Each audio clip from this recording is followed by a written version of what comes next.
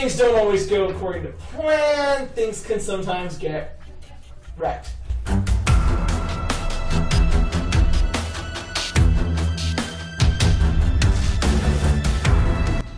I may take things like this a little too far.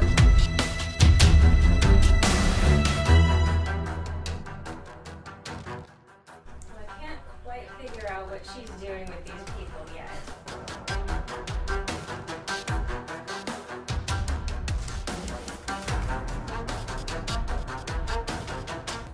of just that little ugly spot on the back of your shirt you just decide isn't there.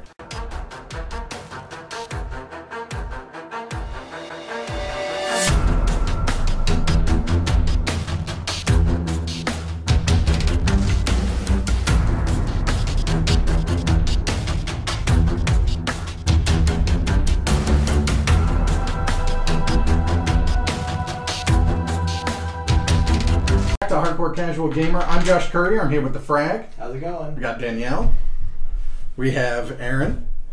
And we have DM Jason. Oh, All right, so we are actually going to sit down and finally get a chance to play D&D. You guys have probably already watched our character generation. Now we're going to see how these guys interact in the environment. So this should go well. Take it away, Jason. okay. Um, you'll die. Oh, okay. we'll, we'll, right. we'll just start there. You got your backup characters, right? Uh, okay. Maybe. So, setting wise, I'm just going to keep today a little bit generic. Okay. So, very kind of generic high fantasy. You could drop this kind of a session in any particular campaign setting. Um, no spoilers for how you would do that. Um, but really, really kind of generic. So, where you guys are going to be coming in is in a small mining town on the outskirts of a fallen kingdom. Okay? And this is the kingdom of Kor. So, what caused the kingdom of Kor to fall? Well, two things. One, lack of a king. A hundred years ago, the king's heir mysteriously vanished. That's bad. This results in a war of succession, very bloody, very brutal. Lots of people die, lots of heroes are forged. It's not good for the kingdom overall. Now, the kingdom could have recovered from that, um, having finally settled a lengthy war of succession, but no, they don't. And the reason they don't is because from underneath the capital city bursts Igjarjuk. An What? Igjarjuk. A nasty, angry, mean, surly white dragon. Okay. Felt like dumb for a second. Like, should I know what a a j- is? It sounds Norse. You guys all brought your asbestos underwear, right? And It's in my other bag. Igjarjuk lays waste to this kingdom. Hundreds and thousands of people die. Um, he is revered as a near deity by the local kobold population, which thrives under the benevolent rule of this dragon uh, deity, if you will. Um, and what humanity has clung to this mountain valley and this this region uh, is eking out a very meager existence. In general, they're unable to leave. There are kobolds everywhere. That's dangerous. It's safer to huddle up in the few remaining walled cities or, or small towns. Um, but Igjarjuk demands tribute to be allowed to live. So the entire region has sort of annual rituals that involve offerings of a cart full of silver ore or whatever other trinkets and valuables they can offer up to appease the dragon who has used the former capital city and ruin thereof as his personal demesne and lair. Um, in general, these people need heroes.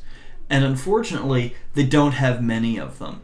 Uh, heroes have been coming for years to try and slay the evil dragon. Um, there are bones of the fallen scattered everywhere from people who have tried and failed. No one is doing well in this region, and most of the rest of the world has put a Here There Be Dragons label on the map and turned their back on it. Very few heroes are still willing to throw themselves at it and try. Um, and the locals have largely dug in to, again, that walled sort of city mentality uh, in their small towns and said, we're going to turtle up, we're going to keep our families safe, keep our people safe, keep our head down, and try and eke out enough of a tribute to keep the dragon from devouring our children. So, this is the place that you guys are coming into as foreigners So other heroes have already tried. and failed. And you expect us to take on this dragon at first level. Of course not. I didn't say that the story was you guys taking on the great dragon Igjarjuk. Uh, Oh, we're taking on the town. Oh, we can do this. I'm, just, I'm kidding. okay? Um, you're going to have your own story in all of this, but this is the backdrop to be aware of. It's a very cold, mountainous region. Um, think of it as being somewhat Scandinavian um in that extreme northern latitude sense. Um, it's a nice, cozy place that rarely gets above 70 degrees in the summer, where a white dragon can lounge about and be very, very comfortable in the relative cold. Um, the spring growing season and summer growing season is short.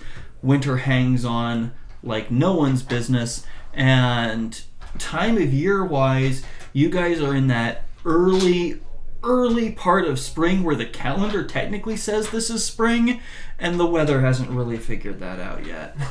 Okay, so it's generally a bit cold, but things are starting to melt, streams are starting to flow. Um, the ground is starting to thaw enough to actually be somewhat workable. Um, nights are still bitter cold, uh, and people are still huddled close to their fires. Okay. Okay. Hard Okay? thinks he should put clothing on. What are the demographics of the region, like as far as race goes? It is a Bringing very up race already? She's so Gee. privileged. Any tieflings nearby? like a hovel of them? whole cities. No, um, Not anymore. it's it's a very very homogenous human um, region. There's not a lot of diversity in the region. Um, they have local legends and lore of visiting dwarven miners and artisans um, who are revered, uh, but has anybody ever actually seen a dwarf, met a dwarf, known a dwarf? Um, not so much. Um, they've had experience and contact with outsiders. Um, elvish heroes have passed through on their way to try and kill the dragon and then been slain. Um, they're elvish heroes, so they have left some half elven bastards behind. Um, Hey, I'm not from this town. I don't know what I'm doing in this town, but I'm not from this town. There are some areas in the region where orcs are a problem, and they too have left some half orc bastards behind. Um, in the That way is you. that probably is me. in the way that that orcs are a problem to the region in general, but the kobolds are a bigger threat to the region than the orcs. The orcs are really more of a southern problem and not as frequently encountered.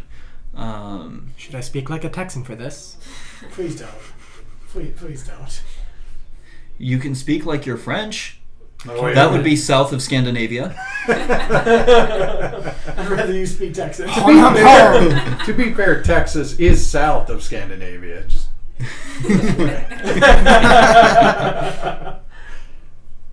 okay. Any other any other questions that you guys have going into this? Will you remind me of the name of the town? The town is Berlin.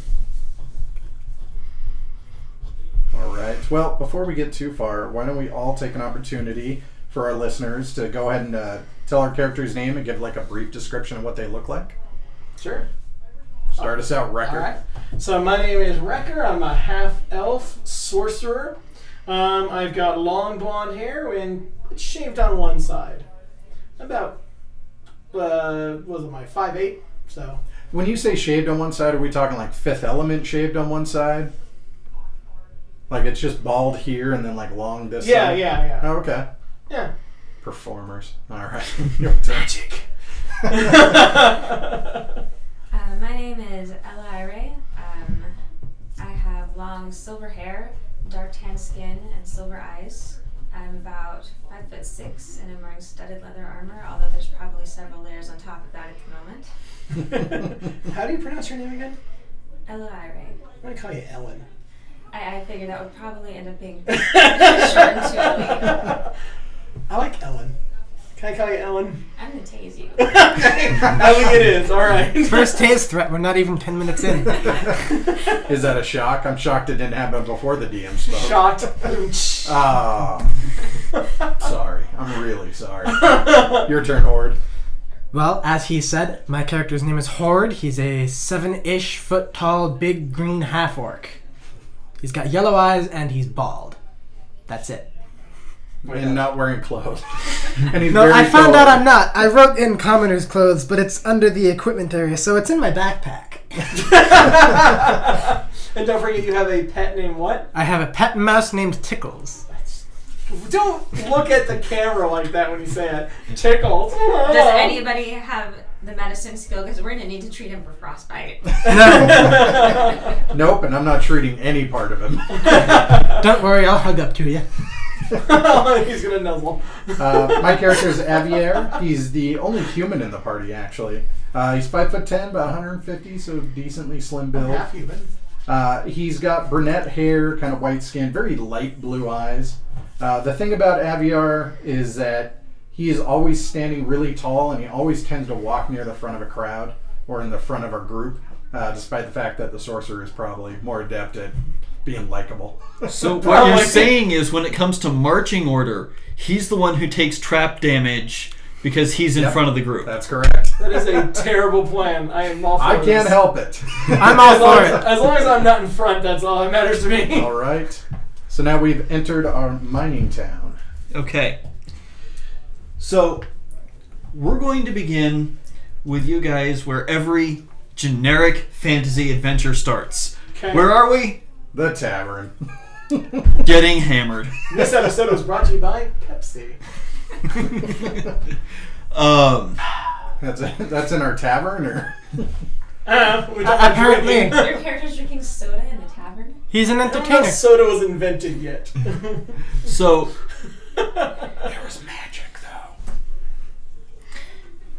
you guys are in the local tavern where many of the locals are hunkered over their tables as close to the fire as they can sit and wolfing down bowls of hot stew.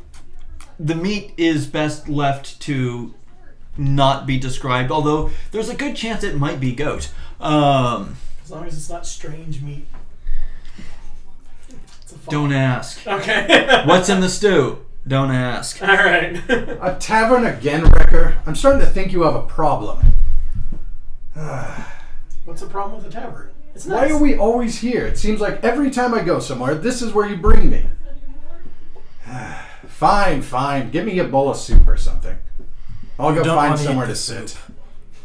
Get it your damn self. When I go, sit, I go to the tavern, the the barkeep, and I start making some general chit chat and getting some drinks. I'm gonna roll my eyes at whatever patron looked up at him.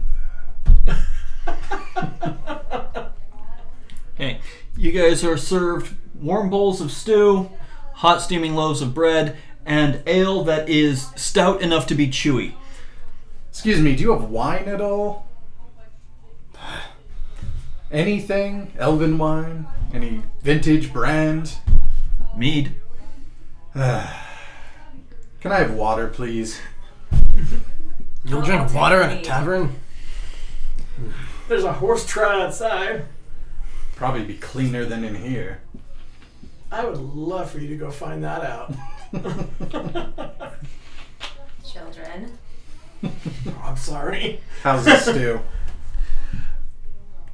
Well, the root vegetables are old and shriveled, and the meat is tough and chewy, um, but it's edible.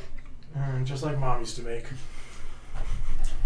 Let's go up north, you said. Oh, there's going to be lots of adventure up here. Crap. This is an adventure. It's just starting. You This is can't have. delightful. Oh, every small town has some problems. Did you not see that sign? There be dragons, and when there's a dragon, there's a horde. Not Yes. that one. Yes, You don't want to take treasure from a dragon.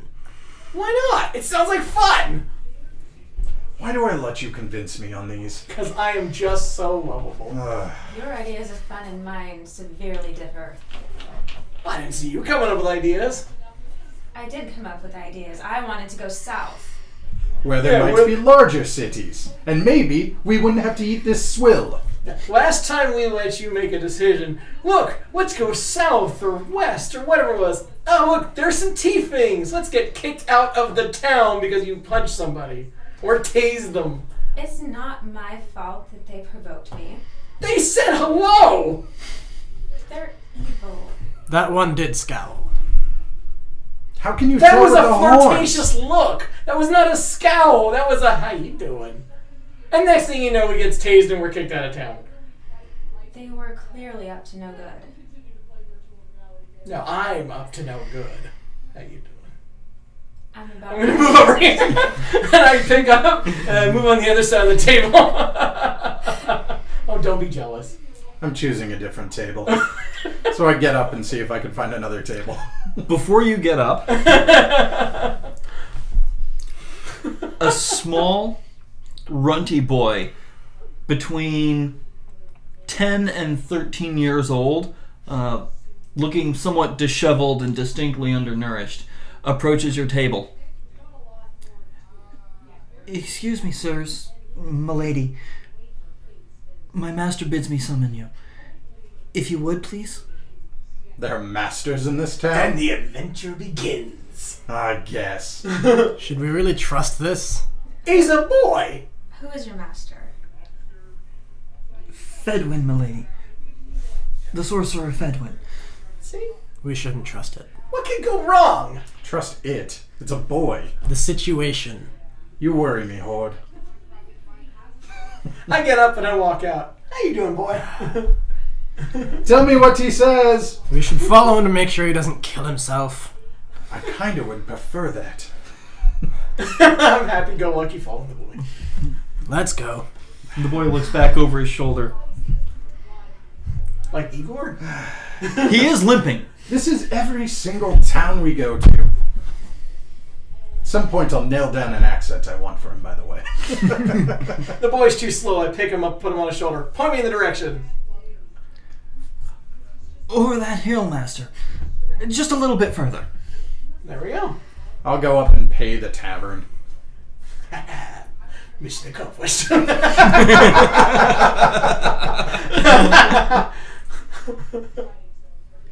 Your meal is expensive. Two It's silver you a bowl. complained. Two silver. Fine. Next time, don't complain. What is that? Half a gold? Two silver? No, Oh, two silver a bowl. There's four of us. Oh. That'd be eight. That's, yeah. Almost half. That's two silver left out of one gold piece. Right? Because it's ten silver for each gold. Mm-hmm. Yes. Okay. Ten silver per gold. Yes. Oh, they said two gold. Don't worry about it. Let's continue. All I know is I don't care. I'm not paying for it. The boy leads you to a small two story building that's old and in disrepair on a hilltop overlooking the streets of the town. Um, there's cold air coming in through holes in the thatchwork of the ceiling, and light streams through gaps where parts of the wall have crumbled away. In general, this is a building that has seen many, many better days. The interior is heaped with tomes and scrolls and odd bits and bobs. There are beakers and vials and bits of animals, strangely shaped skulls, horns, um, you name it.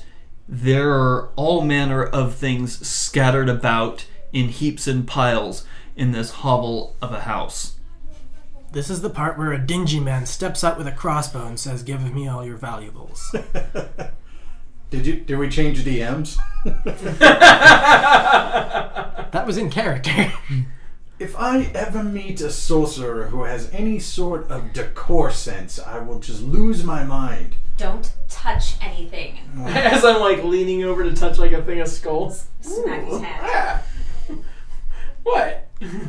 Nothing happened. I mean, none of these books are even alphabetized. Terrible. I'm gonna get my maul ready. Oh, for the love of gods. What is it? What is he doing? Please, masters, just just a little bit further. He's through here. See? The boy seems trustworthy. So did I. No. I like the way No. you think, Cord.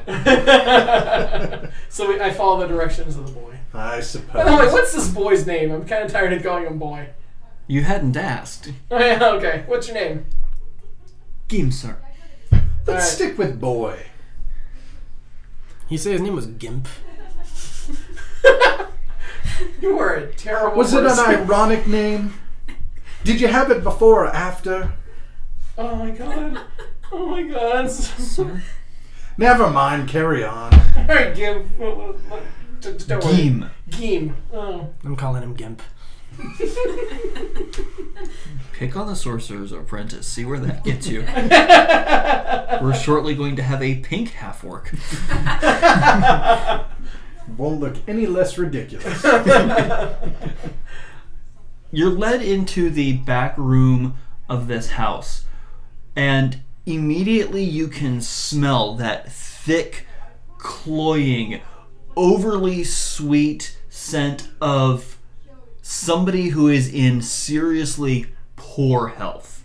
Um, the sorcerer that you have been brought to is laid out in dirty, disheveled bedding that looks like it hasn't been changed in quite some time, nor has the sorcerer left his bed in days.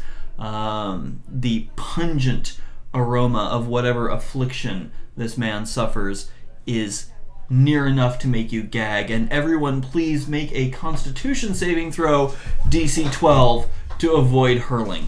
Oh jeez.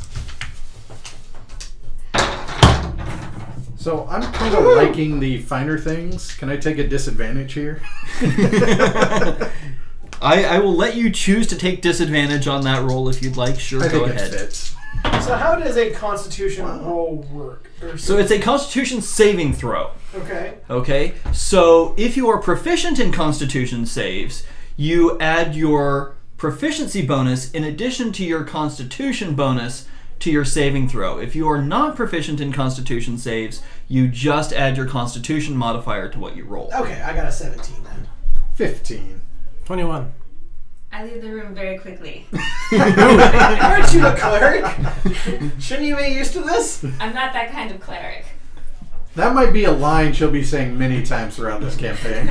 But he needs healing. Oh, He could be put out of his mercy. put out of his mercy. No. I think, Horde, why don't you go check on Ellie for a little bit? She might need some help. Come closer. After you, Wrecker, I come closer. I hang by the door.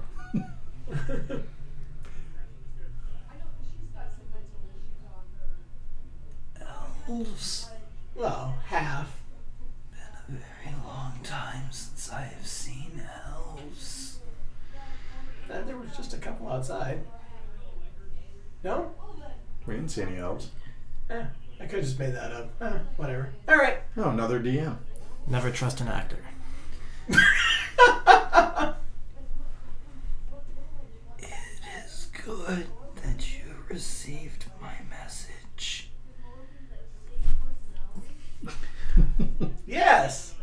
Yes. Message. I don't even know what you're talking about. Oh, oh. The time is close.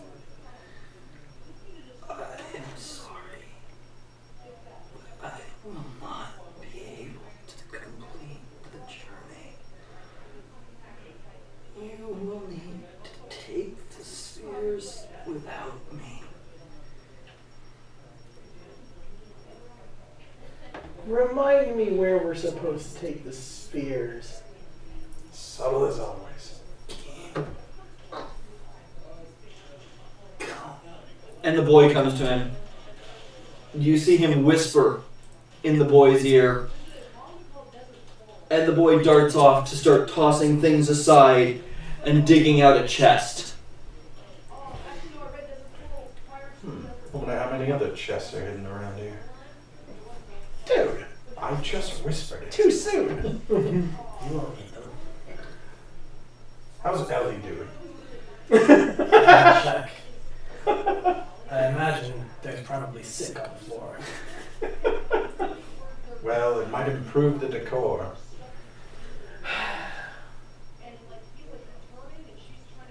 And the boy comes back with a bulging sack. You can hear faint glass tinkling from within the bulging sack. Those are going to be broken within five minutes. that long? I'll walk up to the uh, the sorcerer. Hey, wild mage. Oh. And what are these?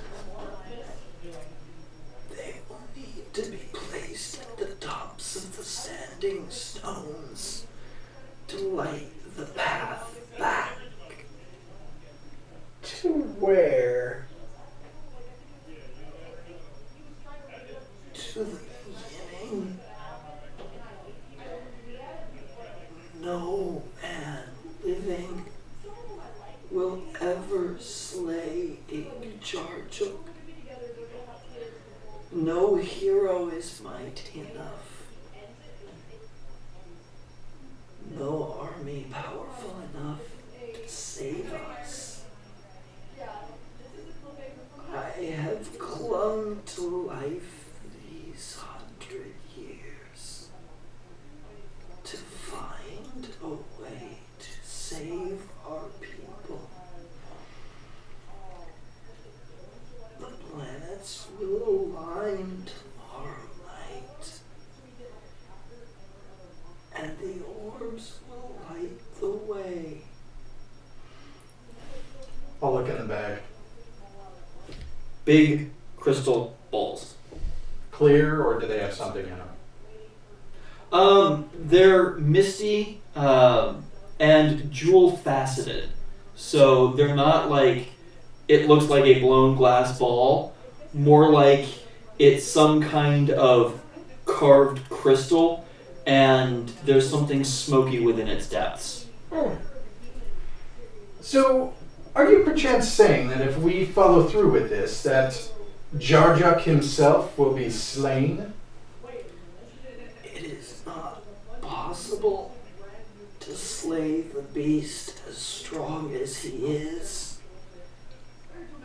But I have delved into the ancient past and found the truth of his origin.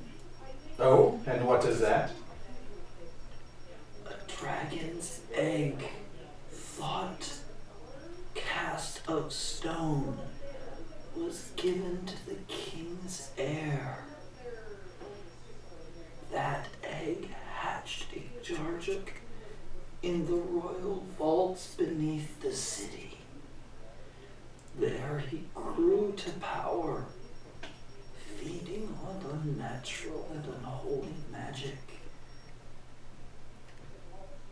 You will destroy the egg. And Igjarjuk's rise of terror will never happen. Will never happen. Hmm, The crystals mean time travel. this sounds like fun. Alright, I'm in. See? Adventure! Yes, yes. You've got to be saying that just because those things are pretty. Interesting. What, well, really? So where does this path begin? Crystal balls. You will need the maps, maps. A large stack of parchments is placed in front of you. Well, at least you knew where those were immediately. Is there like a Cliff Note version?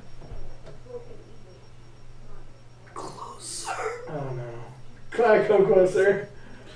Make me a Constitution saving throw DC 13.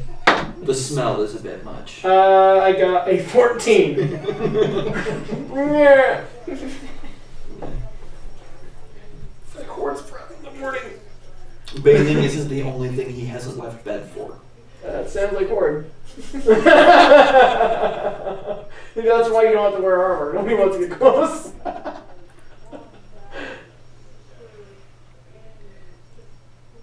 There is a lake in the mountains above the city.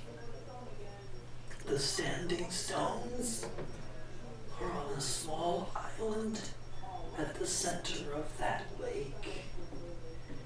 It should still be covered in ice. It is not yet thawed. Once you place the orbs atop the standing stones, your path will be illuminated. You will need to venture to the base of the cliffs beneath the keep. There you will find an underground passage that leads to the royal crypts and the vault that holds a Jarchik's egg.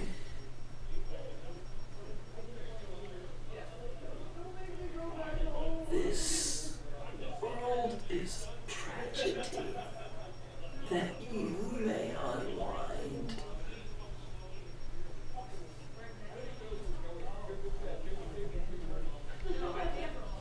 Well, consider it our sacred duty to help out wherever we can, to defeat dragons, to take hordes, whatever it takes.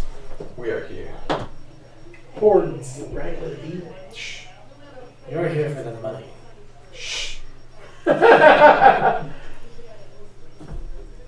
Well, where might Jar Jar be at the moment? I don't suppose you have any idea about that.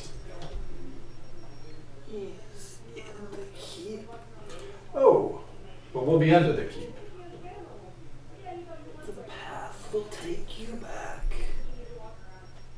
You must get there without him seeing you. You must reach the standing stones. Beware his minions and his. Oh, for the love of gods! Why does this always happen? You can handle this yourself, can't you? I suppose. I hear West is good this time of year. I've heard good things about South, but here we are nonetheless, and we have an adventure, so I say we go on it. Besides, a dragon no one else can beat. I think we got this. I'm gonna remind you of that later. Good. While we're I'm gonna go fill her in on what happened. You there, boy. So, sorry about your master. Uh, what do you want to do with him?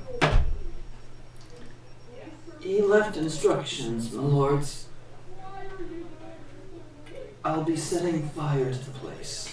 Oh, like now, or do you mind if we like? Um, He Yeah. said very clearly that the things here should not fall into the hands of people who would not be able to handle the mysteries, and that if you are successful, it wouldn't matter anyway. so I can make a persuasion check to make me maybe give us a little time to make sure there are not any hidden tools that might help us on our quest. I do have proficiency in persuasion. You can go ahead and make a persuasion check. DC third. Oh, it was on 19, but now it's a 3. So that would be a 9. That would be not very persuasive. Dang it! Yeah, that's like, uh, I was thinking do one of you those think moments. we could, please? I was like, eh, no. And Witch fire begins to spread from the mage's bed. Oh, like immediately, immediately. You should leave, masters. The boy bolts. I think Uh, we should follow him. I will pick up all the parchments and just run my way out, the ones you gave us. And the balls. well, time to go. I'm gonna follow the kid. now you want to follow the kid. He's going Like away Al just fire. get to see the boy, and then us. come out. Yeah. Bye. time to go, El. Horde, are you coming? Yeah.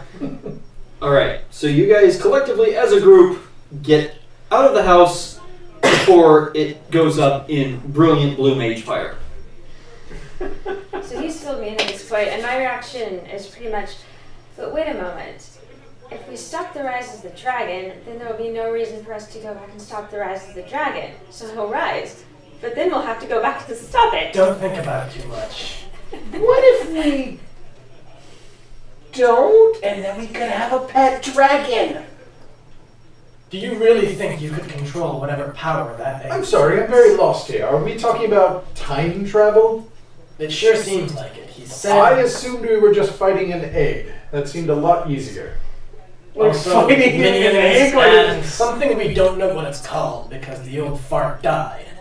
The old fart. He burned his place. Boy, boy, where's that boy?